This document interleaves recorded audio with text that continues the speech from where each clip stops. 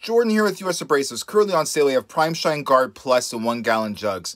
Prime Shine Plus is a breathable semi-topical sealer that helps protect the surface against etching and stains. It also stops the, uh, any vapor or water transmissions into the surface. Cost per square foot is under a penny. Message me now. Jordan here with US Abrasives. Currently on sale, we have our premium full bar shredder with the tails, made for machines like Husqvarna's, whomever has a drive plates to accept that style of diamond. A great tool for residual removal. If it's cure and seals or paints or glues or epoxies, it's a great tool, great scratch pattern, great wear rate. Message me now. Jordan here with US Abrasives. Currently on sale, we have magnetic adapters with the tapered edges. Now, this is for machines like Lavina's or whomever has a drive place that accepts that style of tooling. Now, we try to tell you not to be married to any style of tooling, any proprietary systems. If you're not married to them, end of year, you save a lot of money. Message me now. Jordan here with US Abrasives. Currently on sale, we have our 3-inch, 75 millimeter tank hybrid pad.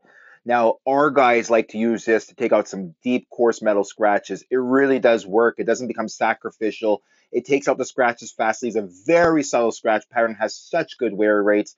Uh, cost per square foot's under a penny. Message me now.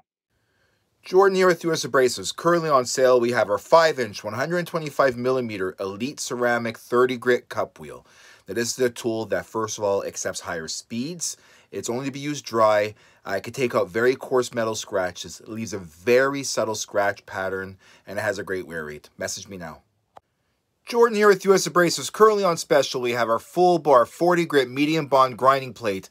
This is a great tool that works wet or dry. It's great for general stock removal if you want to start your prep for polishing or just, you know, uh, fixing up a slab. This is a great tool. Cost per square foot is about a two pennies. Message me now.